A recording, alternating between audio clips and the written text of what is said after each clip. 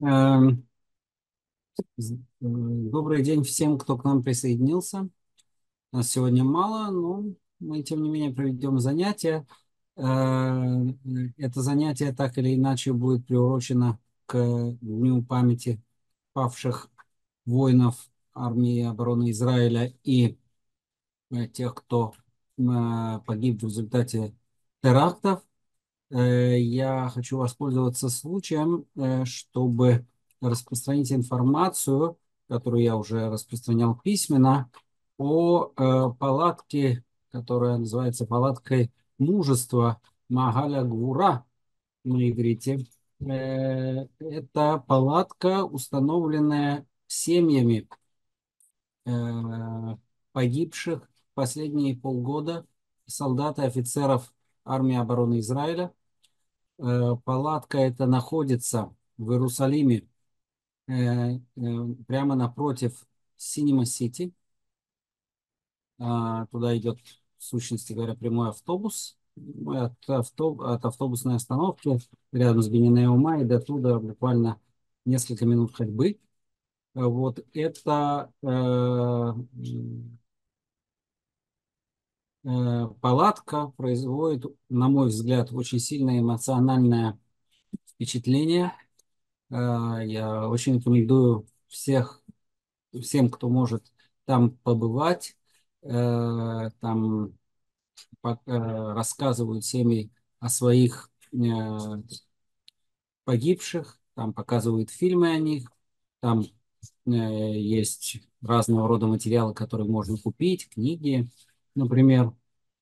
И э, эти можно спорить, э, может быть, кто-то оспорит э, тот, как бы сказать, посыл, который стоит за этим до победного конца. Да, э, Эмцевулану Ницахон. Они заповедали нам победу. Кто-то, может быть, будет сомневаться в возможности такого победного завершения в свете всех последних событий, в свете, может быть, э, того руководства страны, э, страны и армии, которое у нас сейчас есть. Но это никак не влияет на сам эмоциональный накал, исходящий от этих людей, которые действительно являются людьми исключительно мужественными, исключительно честными, исключительно как бы э, чистыми. э, в э, и те идеи, которые они э, там э, как бы выражают, это не какие-то политичес- ч- политические идеи, это не индоктринация, это действительно то, что исходит из их сердец. Э, И невольно, когда находишься там, заражаешься атмосферой этой, и даже если, может быть, э, разум наш, нашептывает какие-то скептические слова, э, ты как бы, э, находясь там, невольно заражаешься их верой, их убежденностью в том, что так оно и будет. И хочется верить действительно, что так оно и будет. И что в конечном счете Израилю удастся сломить сопротивление тех монстров в человеческом образе, с которыми нам приходится сегодня иметь дело э, и воевать с ними. А, И, естественно, э, лица, лица тех солдат и офицеров, которые, э, которые пожертвовали своей жизнью ради того, чтобы спасти тех, кого можно спасти, ради того, чтобы защитить свой, свой народ и свою землю. Э, Достаточно взглянуть на эти лица, чтобы понять, что мы здесь имеем дело с, э, со святыми людьми. А, Это то, что я хотел сказать в качестве преамбулы к сегодняшнему занятию. Оно на самом деле э, непосредственным образом связано с этой темой. Так получилось, э, ненамеренно. Да, э, потому что, э, в сущности говоря, прообразами, первыми прообразами такого рода людей э, являются маковейские бойцы. Э, э, Конечно, в Танахе мы встречаем разного рода истории и разного рода, персон, разного рода персонажей, которые тоже воюют за народ, за землю, за семьи. Э, вот, но такого настоящего э, накала э, жертвенности это действительно достигает впервые в, эпоху гонения Антиоха Епифана, поскольку, как я уже и говорил, по сути дела, по сути дела, это первая настоящая попытка лишить целенаправленно лишить, идеологически целенаправленно лишить народ Израиля своей идентичности, э, как бы э, все, что происходило до этого, скажем, э, местные войны, война с Ассирией, с Вавилоном, эти войны носили, в общем-то, скорее политический, военный, политический характер. Они не носили как правило, из того, что нам известно, характер идеологический. А, э, и в этом смысле а, гонение Антиоха Епифана, да, как бы более или менее в это же время, чуть ранее, э, происходят некоторые э, конфликтные ситуации в, в Птолемеевском Египте, вот, но они носят, в общем, такой достаточно локальный характер пока. А вот эти э, гонения носят характер масштабный, и, соответственно, и ответ этим гонениям, он тоже масштабнее, да, такая жертвенная война. Э, э, мы э, последние занятия э, посвящали, посвятили э, теме Кидуша Шем, мартирологии, которая является для автора Маковейской книги центральной темой, в отличие от автора первой Маковейской книги, где этому практически никакого внимания не уделено, кроме нескольких стихов.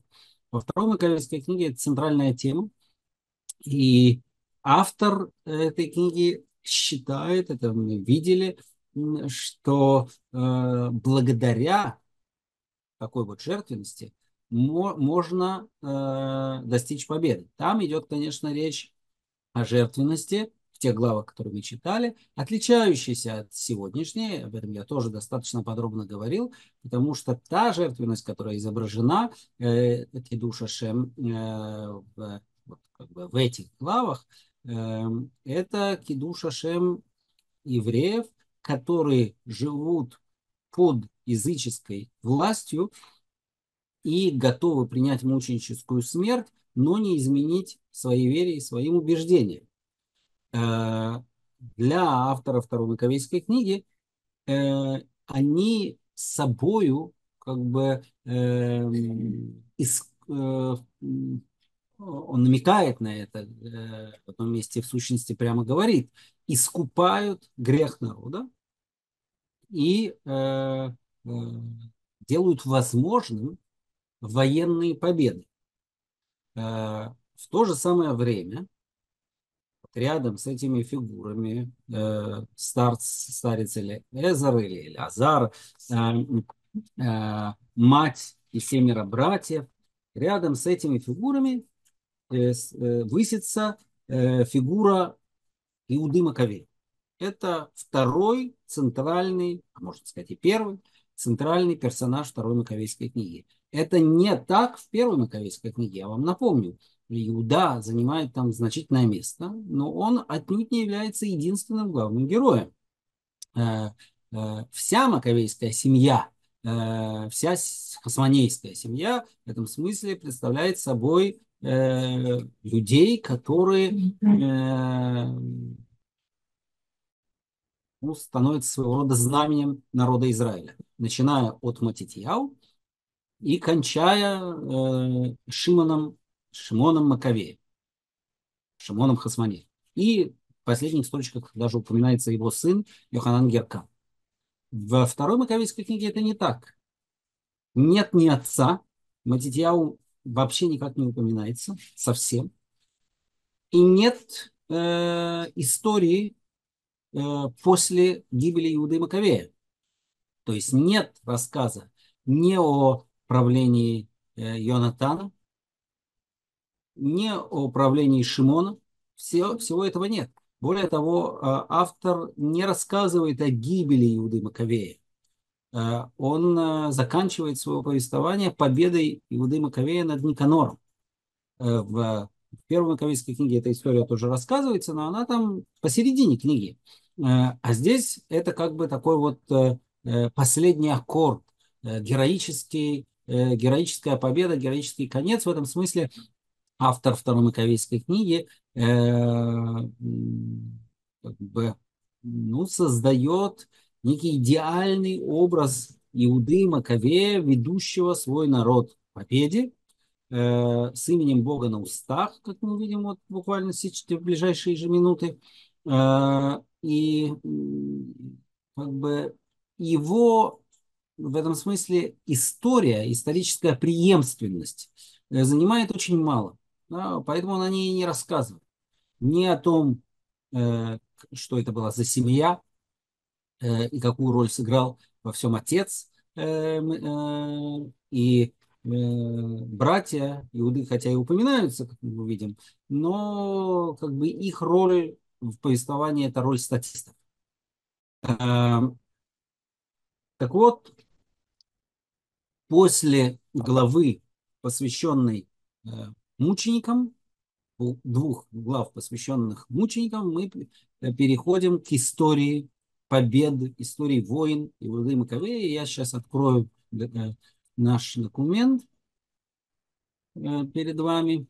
А это глава 8 второй Маковейской книги. То есть мы находимся ровно посередине. Э, вот, и э, мы сейчас прочтем эту восьмую главу и обсудим какие-то детали, для нас существенные. При этом у этого у повествования, которое в этой главе Э, есть параллель в Первой Маковейской книге. Мы не будем э, сравнивать детально все, но, опять же, какие-то вещи, э, какие-то вещи обратим внимание. Итак, между тем, Иуда Маковей и бывшие с ним, тайно входя в селение, созывали своих сородичей, сродников и принимая себе тех, кто остался в иудействе, кто остался верен иудейской вере, собрали до 6 тысяч мужей. Интересно, что в первой Маковейской книге цифра в два раза меньше.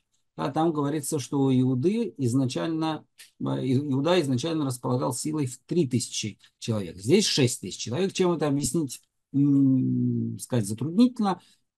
Если здесь какая-то э, есть какое-то намерение, э, трудно сказать, возможно, это просто другая, другая традиция, другая версия. Но вот уже второй стих показывает существенную разницу между первой и второй Маковейскими книгами.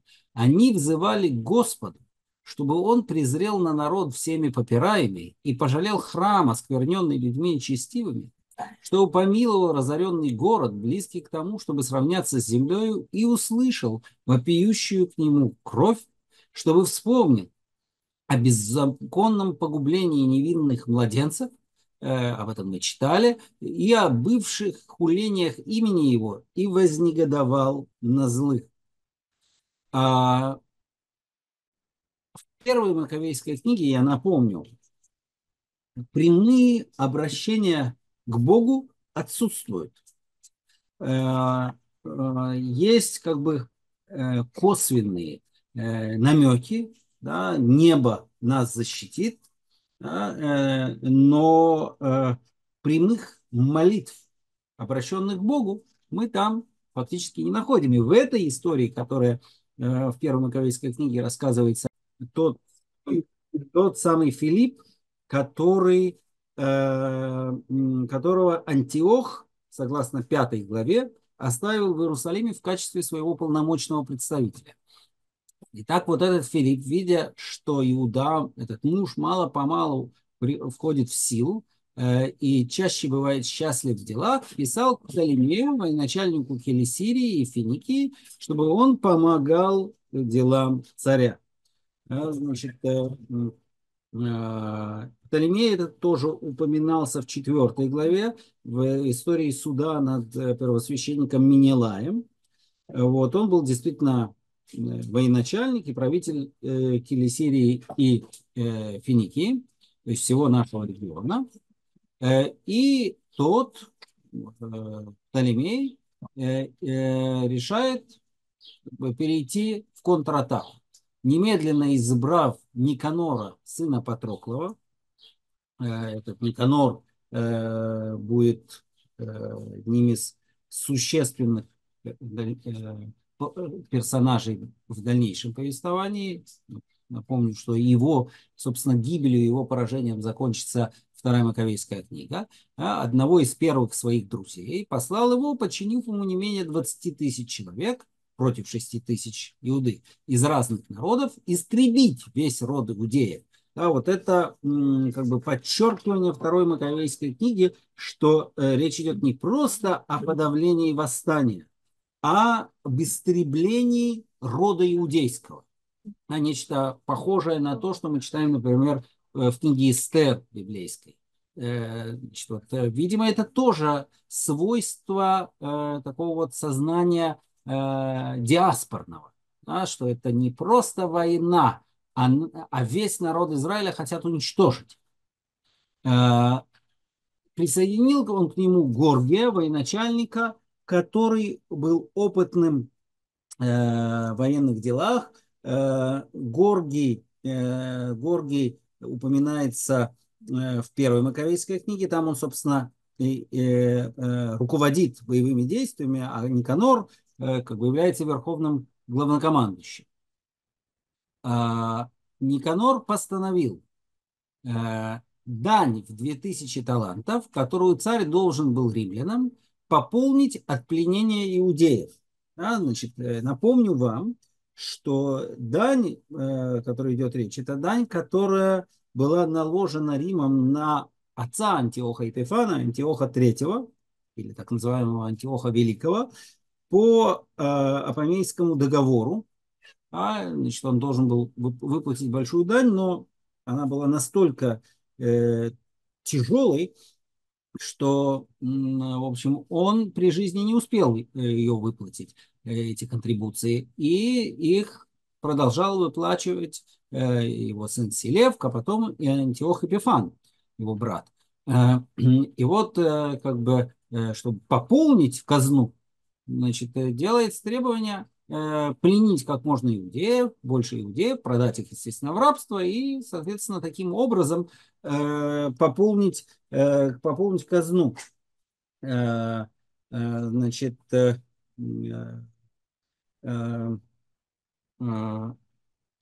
почему тотчас послал в приморские города, приглашая их покупать в рабы иудеев и обещая доставлять по 90 пленников за один талант. За один талант. Надо сказать, что это э, э, совершенно фантастически низкая цена, да, 90 пленников за один талант, э, потому что, например, Флавий Иосиф рассказывается, что иногда талант платился за одного раба, а здесь платится за 90.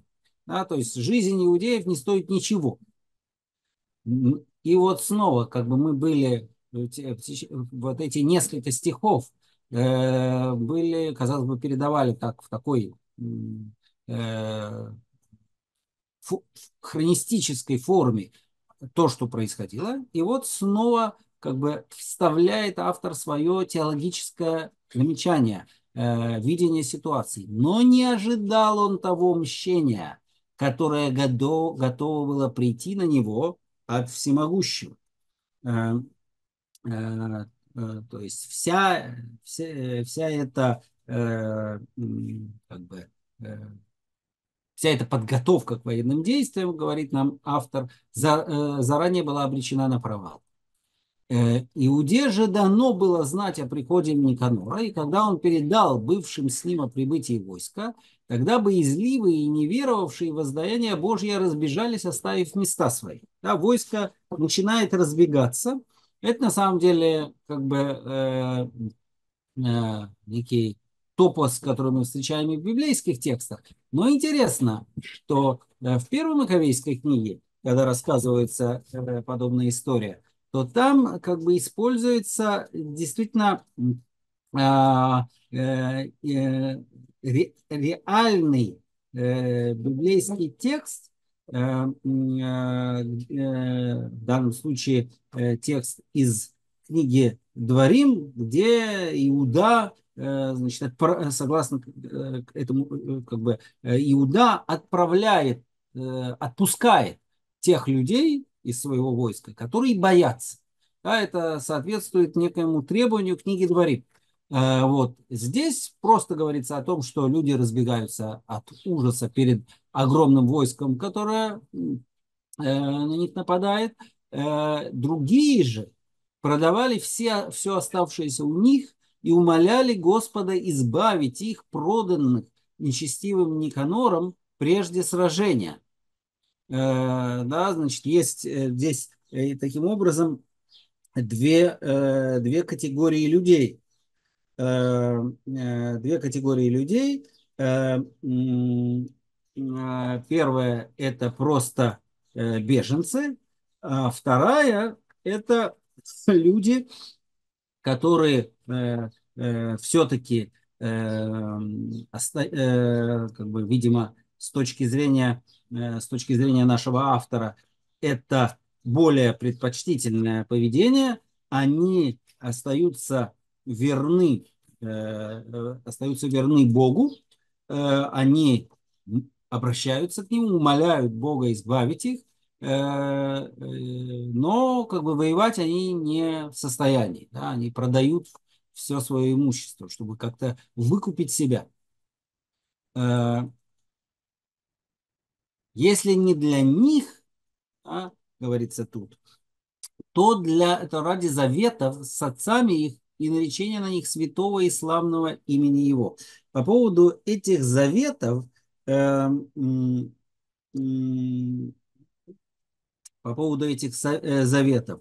Э, есть некий э, спор в, среди комментаторов Второй Маковейской книги, среди исследователей, что, собственно, имеется в виду, потому что в Танахе, как правило, слово «брит» используется в единственном числе. завет с отцами – это один завет. Да, что же это за заветы? Значит, кто-то полагает, что Э, э, речь идет, с одной стороны, о заветах, которые были с працами, о завете, который был с працами, а с другой стороны, о Синайском завете.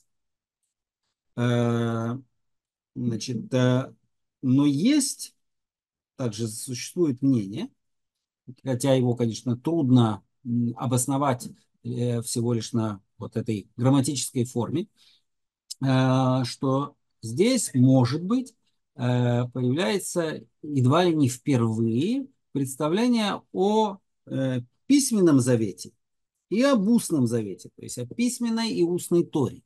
Э, я это просто упоминаю как существующее мнение, но подчеркиваю, что знать точно, как бы обосновать это довольно трудно. Тогда Маковей собрал бывших с ним число в 6 тысяч мужей, да, это немножко странно и противоречит тому, что было сказано до сих пор. Если часть войска разбежалась, то должно было остаться меньше 6 тысяч.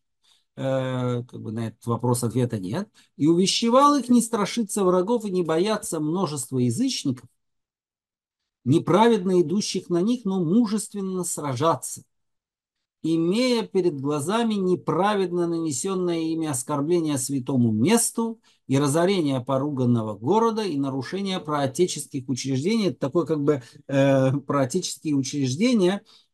Это на самом деле своего рода грецизм такой. Э, э, буквальный перевод это гражданское общество э, працев.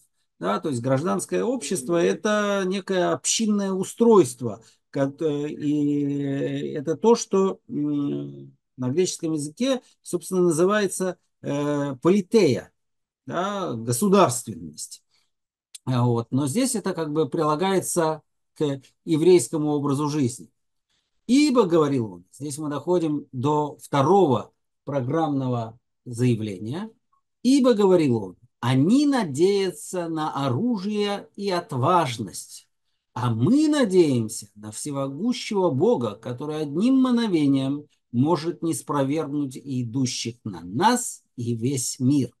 А я поставил этот стих э, в качестве подзаголовка к нашему сегодняшнему разговору, потому что действительно в, в контексте второй Маковейской книги это э, играет центральную роль. В первой Маковейской книге как бы подчеркнуто, что, Бо, э, что небо может даровать победу малому числу э, и э, как бы не, не спровергнуть э, многочисленных злодеев. Здесь подчеркивается противопоставление между оружием и военной доблестью с одной стороны и с другой стороны э, верой, э, э, верой в Бога.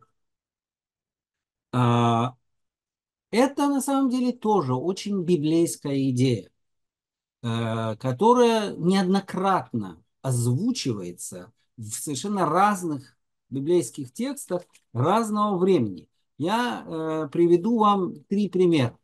один пример это история победы Давида над Гольятом, Голиафом в 17 главе первой части книги Шмуэля, где, э, э, где э, Давид обращается э, к Гольяту, Голиафу с речью и говорит, что вот ты пришел э, сражаться со мной при помощи оружия, а я иду на тебя с именем Бога на устах который тебя э, э, не спровергнет. Да, это как бы вот та самая идея, которая выражается здесь.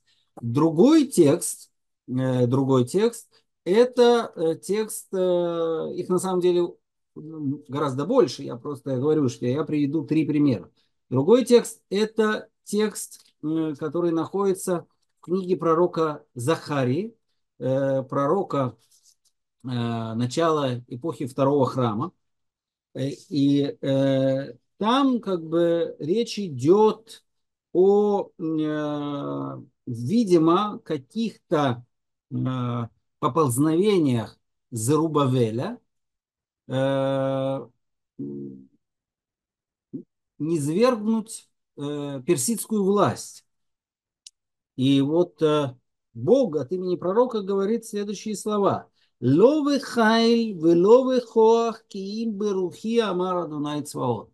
Не силою и не мощью, а духом моим, сказал Господь воинств. Это второй пример. Третий пример я приведу из псалма, который стал частью э, еврейской литургии. Это 20-й псалом, очень красивый псалом. Я всячески рекомендую его э, прочесть. Э, э, и там говорится так. Эле варехев, в эле васусим, ве анахну бешем Адуна Элохейну наскир. Да, это как бы противопоставление, противопоставление врагов Израиля э, из, э, самому народу Израиля. Да, эти э, как бы воюют колесницами и конями, а мы воюем именем Господа, Бога нашего, которое мы как бы произносим. И поэтому, как говорит следующий стих, Эма кару нафалу ванахну камну не тодад. Э, а, э, они падут, склонятся и споткнутся и падут. Здесь-то в прошедшем времени, как будто это уже произошло. Они споткнулись и пали. Мы же встали и приободрились. Э, Камну вы не то да. Э, то есть, как бы вот эта идея, которая здесь, которую здесь выражает Иуда Маковей, она, повторяю, очень библейская идея. Э, Дальше нас ожидает некоторый, э, некоторая неожиданность, некоторый сюрприз, э, исторический сюрприз, на который нет ответа. Да? Он упоминает предыдущие истории. Э, надо сказать, что в первой Маковейской книге тоже есть упоминание историй, э, но там говорится так. Э, там говорится так.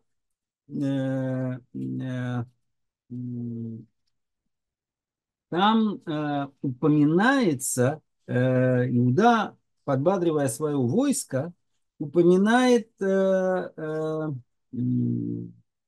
переход через Тростниковое море, э, которое должно послужить своего рода э, э,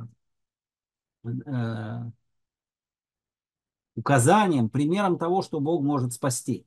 Да, как, там сказано так в, в четвертой главе первой Маковейской книги, тогда Иуда сказал людям, что были с ним, не бойтесь их числа и не страшитесь их напора. Вот это число. Да? Вспомните, как были спасены наши отцы в Красном море, когда их преследовал фараон э, с войском. Вот и теперь давайте вас зовем к небу. Если мы будем ему угодно и небо вспомнить завет с нашими отцами, то уничтожить сегодня это войско прямо у нас на глазах. А, здесь упоминаются другие истории. Одна из них тоже хорошо знакомая нам. А, э, я не могу ответить на вопрос, почему здесь, во второй Маковейской книге, он не упоминает парадигматическую историю перехода через Тростниковое море. А, может быть, э, может быть потому, что он хочет упомянуть именно истории э, спасения, когда Израиль воевал с кем-то.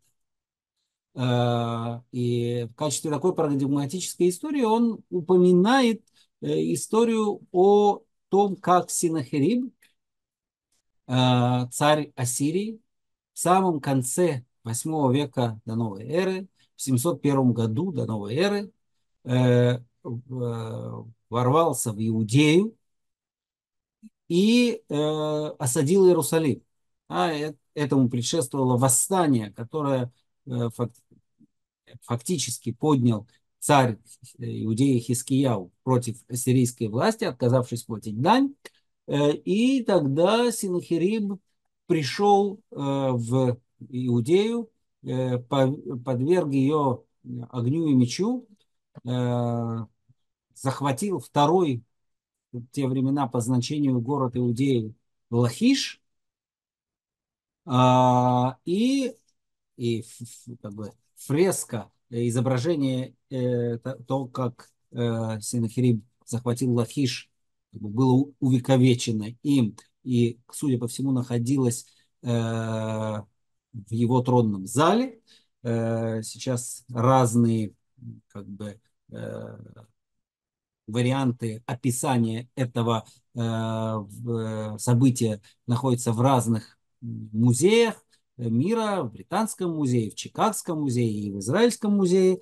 Вот. Э, э, что касается э, судьбы Иерусалима, то в самой книге царей, книге Млахим, есть две разных версии, как Иерусалим был спасен. По одной из версий Хискияу смог откупиться от Синахириба, но по другой версии произошла, э, произошло непосредственное божественное вмешательство э, в события, и в ночь Бог э, выслал, послал своего ангела, который уничтожил 185 тысяч солдат ассирийского войска, и осада была таким образом снята. И вот это событие упоминает здесь э, наш автор. Но он упоминает еще одно событие, которое неизвестно нам больше ниоткуда. Э, больше ниоткуда. И, э, но поскольку он его упоминает достаточно подробно, то, видимо, И речь идет о каком-то вполне реальном историческом событии. О бывшем в Вавилоне сражении против галатов, как они пришли на брань в числе только 8 тысяч четырьмя тысячами македонян, и когда македоняне смешались, то эти 8 тысяч погубили 120 тысяч, бывшую им с неба помощью, а, э, и получили великую добычу. Э, значит, э, непонятно, о чем конкретно здесь идет речь. Судя по тому, что наш автор приводит этот текст здесь, он имеет в виду сражение иудеев с галатами. Теперь галаты – это народ в Малой Азии, э, э, кельтский по, по своему происхождению. Э, и нам известно, что они нередко служили наемниками. Значит, кого, к какому времени относится это сражение, непонятно.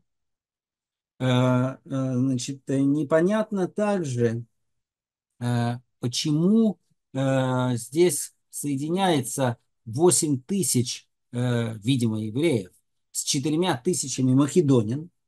И почему македоняне значит, воюют, судя по всему, вместе с иудеями, не ясно.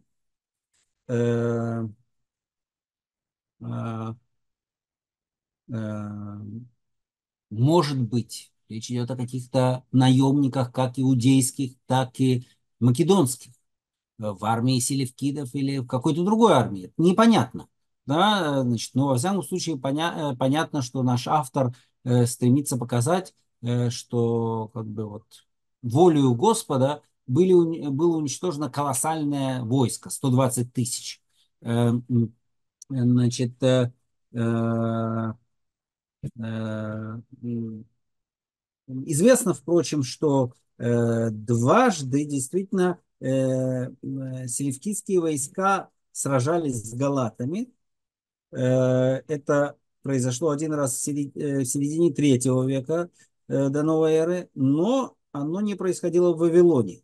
Второе событие произошло в 220 1991 э, году, то есть первое событие, прошу прощения, произошло, э, э, да, в первое событие в 275, то есть в начале более-менее третьего века до новой эры, а второе в 321, э, в 221, 221, э, то есть э, близко к концу третьего века, э, и там как раз Антиох III э, в Вавилонии нанес э, удар э, э, медийскому сатрапу, в войске которого были наемники Галаты.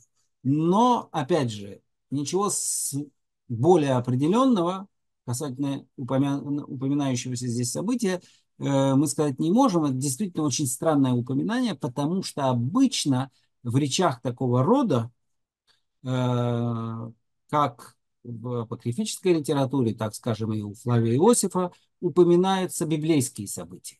Вот как здесь упоминается э, э, поражение Синахириба. А это действительно очень странный такой момент. Э, такими рассказами, говорится дальше, сделав их неустрашимыми и готовыми умереть за законы и отечество, он разделил войско на четыре отряда, на четыре отряда, назначив вождями каждого отряда братьев своих. Здесь они упоминаются, но тоже очень странно.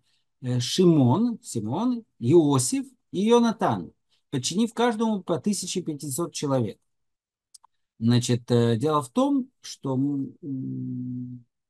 согласно первой Маковейской книге, сыновьям, э, пятеро сыновей, сыновей Матитьяу включали в себя Иуду, Илязара, Шимона, Йонатана и Йоханана. Никакого Иосифа среди этих сыновей нет. Да, это тоже некоторая загадка, почему здесь появляется, появляется э, Иосиф, да, в первой Маковецкой книге этого нет. Э, значит, э, правда, э, э, значит, э, рассказывается о том, что э, Иосиф, э, э, э, сын Захарии, э, вместе с неким Азарией, согласно первой Маковейской книге, в пятой главе, был оставлен Иудой начальником над Иудеей, когда сам Иуда отправился в Гилад. Э, и там говорится, что они не справились с возложенной на них задачей, и из-за этого погибло множество народу. Имеется ли в виду здесь этот Иосиф, который, согласно первой Маковейской книге, не был родственником э, э, Иуды, не был его братом? Или какой-то другой Иосиф? Или, может быть, просто произошла ошибка, и правильнее читать, скажем, я не знаю, не Иосиф, а э, Йоханан? Трудно сказать. Э, во всяком случае, четыре отряда. Три из них поручаются братьям, и во главе четвертого стоит сам Иуда. Потом он приказывает еще одному своему брату, Илязару, читать священную книгу. Надо полагать, что под священной книгой подразумевается Тора. А это, это э, такое важное, интересное, одно из самых древних свидетельств о том, что перед боем читается Тора. Что именно читается в Торе, трудно сказать. Может быть, может быть, описание книги Дворим потому что, согласно книге Дворим, как раз-таки, э, когда Израиль выходит на войну, то э, то начальники народа, а также первосвященник произносят некие речи подбадривающего характера, и, возможно, здесь как бы имеется в виду нечто подобное. Да, чтение э, тех текстов о э, военных походах, которые есть в Торе. И снова он подчеркивает, что благодаря этому, благодаря чтению Торы, э, эм, э, достигается божественная помощь. Э, правда, есть другая версия прочтения этого текста, согласно которому, э, прочитав вслух священную книгу, Э, был дан условный знак Божья помощь. Да, что это э, Божья помощь, некий лозунг. Божья помощь. Израт Да, Израт Элохим. А мы знаем, что, э, например, с Кумрана, что вот в свитке войны сынов света против сынов тьмы упоминаются всякие надписи на боевых, значит, на боевых значках. И там упоминается надпись э, Никмат Элохим, да, мщение Божие, сражение Божие и другие. То есть, может быть, это действительно то, что здесь имеется в виду. Вот. И вот э, Иуда поруч... Э, переказал Илиазару читать священную книгу, сам принял предводительство над передовым отрядом и вступил в сражение с Никанором. И опять-таки, опять-таки, поскольку, поскольку все в его глазах является следствием э, божественных решений, то он снова вставляет в это описание э, э, упоминание об этом. Так как помощником их был всемогущий, они побили врагов более 9 тысяч, и большую часть Никанорового войска оставили ранеными и изувеченными и принудили их бежать, обратили их в бегство. Более того, они отобрали деньги у пришедших покупать их, да, поскольку же было объявлено, что пленных иудеев будут продавать. Вместо этого они как бы все переворачивается, как говорится в книге Эстер, на фогу. Они отбирают деньги у пришедших покупать их и преследовали их на значительное расстояние, возвратились, будучи остановлены временем, да, это э, в первой Маковейской книге подчеркивает, что они их преследовали до Аждода и э, до Явны. И, э, в каком смысле, будучи остановлены временем, ибо это был день перед субботой. По этой причине они не продолжали гнаться за ними. А мы помним, э, что э, во второй Маковейской книге этот момент не был подчеркнут, но в первой Маковейской книге, э, собственно, начинается с того, что говорится, что из-за того, что иудеи отказывались воевать в субботу, враги их практически уничтожили. Тогда Матитьяу вместе со своими сторонниками принимает, так сказать, галахическое решение в субботу защищать себя. Э, и мы когда-то обсуждали это галактическое решение, видели отражение его в, рави... в более поздних раввинистических источниках, в Тосефте, например, что, если, э, что не следует начинать войну за, за три дня до начала субботы, но если начали, то продолжают, и как бы при необходимости даже в саму субботу воюют. Э, но при этом как бы наступательные действия, преследование врага в субботу все-таки недопустимы. Да, и вот поэтому говорится здесь, ибо это был день перед субботой, по этой причине они не продолжили гнаться за ними. Собрав же за ними оружие и сняв доспехи э, с врагов, э, э, они праздновали субботу, усердно благодаря и прославляя Господа, спасшего их в тот день и начавшего являть им свое милосердие. Да, как бы это такой заключительный аккорд да, значит, э, эта победа э, празднуется в субботний день э, по, согласно раввинистическому мидрашу, я не хочу сказать, что это непременно здесь тоже как бы намек на это содержится, но любопытно просто отметить, что согласно книге Иошуа, стены Ерехо пали на седьмой день после Э, начала осады Ерехо, когда обходили город, сначала каждый день по одному разу с, с э, трубя в рог, в шофар, с, седьмой день семь обходов, и стены пали, э, ушли под землю, и вот раввинистический Мидраш говорит, что это седьмой день был суббота, да, что вот как раз тогда это и произошло. Да, и здесь тоже, значит, как бы победа заканчивается перед субботой, и в субботу она празднуется. Э, э, э, и, естественно, в саму субботу чем занимаются? Молятся. Да, в первой Маковейской книге мы такого не найдем. Да, здесь молятся, прославляют Господа, да, читают, возможно, псалмы. После же субботы, уделив из добычи увечным вдовам и сиротам, то есть как бы проявляя э, э, Иуда является не только э, талантливым полководцем, но и справедливым э, справедливым правителем, который действует в духе Торы э, и который прежде всего заботится о слабых. Да, в данном случае э, тут упоминается э, э, раненые, и, вдовы и сироты это как бы постоянное упоминание в Торе. Остальное же разделили между собой и детьми своими. Мы постепенно подходим к концу этой главы. Осталось несколько стихов фактически. Э, э, окончив это, снова молитва. Окончив это, они учредили, устроили общественную молитву э, и просили милосердного Бога совершенно примириться с рабами своими.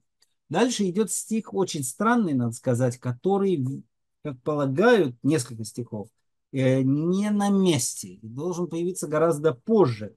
Тут упоминаются Тимофей Бакхид, э, греческие полководцы, которые действительно упомянуты и в первой Маковейской книге, э, но происходит это, согласно первой Маковейской книге, гораздо позже, позже, уже после того, что Иуда очистил храм в 163 году.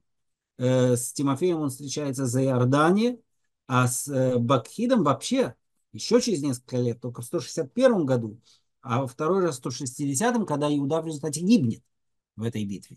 Так что непонятно, как сюда затесалось, э, затесались эти сведения. Они, очевидно, нарушают э, общий как бы нарратив, потому что никакие Тимофей Бахид до сих пор здесь не упоминались. Видимо, это из более поздней части текста сюда попало. И, так, и тогда, как Тимофей и Бакхид напали на них совокупно, они избили более 20 тысяч и легко овладели высокими крепостями. Они разделили весьма много добычи по равным частям между собой и увечными сиротами и вдовами, еще и же и старейшинами. По всей видимости, причина так, такого вот, не, э, такой несостыковки в том, что вот это описание, оно очень похоже действительно на описание победы над Никанором, и, возможно, в какой-то момент э, на каком-то этапе передачи текста по ошибке этот текст был перенесен сюда. Собрав после них оружие, тщательно сложили все в удобных местах, остальную уже добычу принесли в Иерусалим. Да, как бы в данный момент это совершенно невозможно, потому что Иерусалим еще не находится в руках Иуды. Да, об этом будет рассказываться лишь в 10 главе. Э, э, убили и вождя войск Тимофеевых, человека нечестивейшего, который причинил много беды иудеям, а потом, торжествуя победу в Отечестве, сожгли некоего Калисфена, который э, больше нигде не упоминается. Э, э, мы не знаем точно, что это за Калисфен. Э, какой-то, видимо, греческий, э, э, селевкидский э, войн, начальник, который принес беды Израилю, и некоторых других, которые сожгли священные ворота и убежали в один дом, так что за, эти, за это свое нечестие понесли достойное возмездие. Значит, что касается священных ворот, э, видимо, речь идет о воротах храма, о том, что они были сожжены, рассказывается и в первой Маковейской книге, и во второй Маковейской книге. Э, видимо, в 167 году, когда Аполлоний, посланник Антиоха, сжег Иерусалим. Мы об этом читали. Вот, э, во всяком случае, весь этот кусочек с 30 по 33 стих, он, как бы, повторяю, не на месте, но идея все та же. Да? Мера за меру, талион они совершали нечестивые поступки, понесли от Бога возмездие. А с 34 стиха мы возвращаемся к тому, что было до 30. -го. Преступнейший Никанор, э, тот самый, который руководил э, войском, который привел тысячу купцов для покупки Иудея, при помощи Божией посрамлен, посрамлен был теми, которых считал за ничто, то есть иудеями, и, сбросив пышную одежду под видом беглого раба, через внутренние земли пришел один в Антиохию, крайне огорченный поражением войска. То есть, э, опять же, мера за мером. Он э, надеялся э, продать множество еврейских работ, рабов и пополнить царскую казну, а в результате вынужден был как раб бежать из Иудеи в Антиохию. Как тут говорится в последнем стихе, тот, кто э, взялся доставить римлянам дань от пленных в Иерусалиме, объявил, э, что иудеи имеют защитником Бога и таким образом остаются невредимы, потому что повинуются установленным от Бога законам. Да, мы это уже наблюдали, когда была история с Гелиадором, пришедшим в Иерусалим э, и попытавшимся э, ограбить святая святых, и был наказан этим. Там читали историю чуда, которая произошла, как его ангелы э, избивали. Это, но как бы сам по себе вот этот мотив, что и народец, э, надменный народец, который убежден изначально в своей победе над еврейским народом, в конечном счете не просто терпит поражение, а объявляет, что иудеи находятся под защитой Бога, Бога, и что как бы на самом деле из этого следует, что нужно повиноваться воле этого Бога. Э, как бы своего, своей точки экстремума это э, достигнет в следующей главе, которую мы будем в следующий раз читать, о том, как, согласно второй Маковейской книге, умер Антиох Эпифан. Я закончу э, наш сегодняшний, наш сегодняшний разговор перед тем, когда вам возможность спросить или что-то сказать, тем, что выражу надежду, что вот это описание, которое мы сейчас прочли, осуществится и в наши дни, и подобно преступнейшему Никанору э, э, будет также посрамлен э, еще более преступнейший э, руководитель э, э, террористов и убийц, чье имя даже не хочется называть. Будем надеяться на это. Спасибо вам за внимание и, пожалуйста, если вопросы есть, замечания, то их можно задать прямо как раз сейчас. Э, Дима, Да, а, вот ты говорил, что э, преследование Антиоха Епифана был, были первым случаем попытки лишить э, евреев национальной идентичности. религиозной национальной идентичности. Религиозной национальной идентичности. Окей, Но да. уже вообще-то была такая успешная попытка, когда Санхериф угнал э, значительную часть э, Северного царства а, именно с этой целью. Лишь... Сенахериб и... только единственное, Боря, Сенахериб не угонял. Э, э, э, это сделали до него. Да, Северное царство, Северное царство было захвачено, э, э, как бы частично захват начался э, уже Тиглат-Пилесером, затем Шалманасар V и, наконец, Саргон, э, отец Синахириба, довел это до конца. При нем э, Северное царство перестало существовать, просто поскольку Синахириб э, стал такой знаковой фигурой в еврейской традиции, раввинистической, то о нем говорится, что он пришел и перемешал все народы. На самом деле не Синахириб занимался переселением людей Северного царства, но по твоему вопросу, э, опять же, это не носило характер религиозных гонений. Это носило характер э, чисто политический. Э, у сирийцев была очень простая цель – лишить захваченные ими народы воли к сопротивлению. Э, для этого они использовали, помимо прочего, тот способ, которым впоследствии пользовался э, в 20 веке такой э, политический деятель, как Сталин. Э, лишить народы своей национальной идентичности путем их действительно переселения. Да, и они переселяются и э, поселяются среди другого чуждого им населения, а, где довольно трудно сохранять э, свою национальную идентичность, но при этом у Синкириба не было никакой цели э, преследовать евреев за их верование, за веру, и э, как бы добиться того, чтобы они сменили веру на что-то другое. Это его мало волновало. Его волновало одно, да, как бы не только Синахириба, а всех ассирийских царей, начиная с Тиглат-Пилесера в 8 веке и кончая э, Ашурбанипалом, последним крупным э, сирийским царем э, э, э, Новоассирийской империи, вот они просто хотели добиться политического паралича среди пораженных ими народов. Вот и все. Да, ну спасибо, но я тем не менее не очень понимаю принципиальную разницу. Потому Разница что очень времена, те времена, э, значит, э, идентичность политическая, в общем, была связана с религиозной. Да, а... это правда, это правда, но тем не менее, э, все, что мы знаем об Антиохии и Епифании, не только из еврейских источников, но и из других, дошедших до нас, как бы он был одержим идеей пан, пангрецизма, да, значит, греческая культура, греческая цивилизация должна быть принята всеми. Все, кто этому противостоит, э, их нужно заставить, заставить э, каким-то образом отказаться от вредных варварских верований. Да, я повторяю, это принципиальная разница. Ничего подобного ни у ассирийских, ни у вавилонских, ни у персидских царей мы не находим. Они не ставят перед собой такую цель. Э, верьте во что хотите. Э, лишь бы э, только исправно платите налоги и не поднимайте бунты. Вот, вот это и есть разница. На мой взгляд, она достаточно принципиальная. Да, понятно, спасибо. Есть еще вопросы, замечания? И, похоже, нет.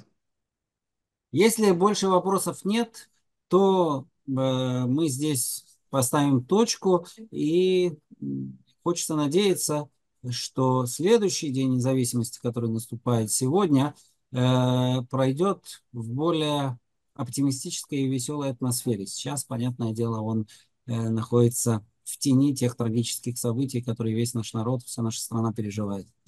Спасибо вам за внимание. Амин. Сурот вот. Спасибо. Всем, всем счастливо. Пока.